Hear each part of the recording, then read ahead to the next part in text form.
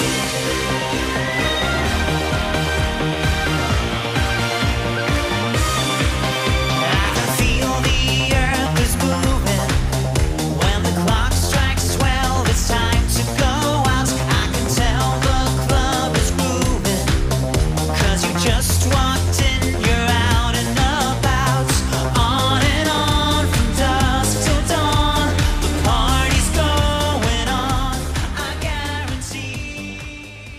Assalamualaikum and very good afternoon.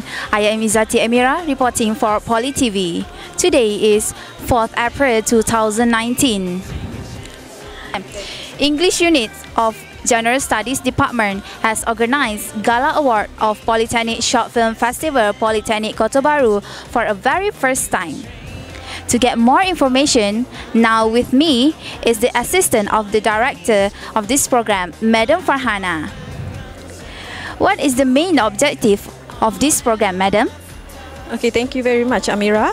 Okay, uh, the main objective of this program is uh, we want to give opportunity for the students to enhance uh, their skills, uh, their creativity in a film production. Okay, uh, the second objective is uh, we want the students to to improve their uh, spoken skills so that they can communicate in English not only in the classroom but also outside the classroom.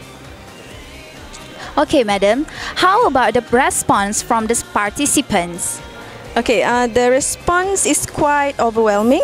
Okay, there are 33 groups uh, participating in this competition, and I can see that they were all very excited uh, because um, they can uh, collaborate with their friends in uh, to uh, produce this short film. Okay, for the last one, madam, what do you hope from this program? Okay. Uh, for this program, I hope that this kind of program uh, should be done annually because uh, this program can um, uh, increase students' interest uh, towards English language, and also uh, they can um, uh, we can encourage them to use English language confidently. Okay, that's all from me. okay, madam, that's all from me. Izati Emira reporting for Poly TV. Live, learn, innovate.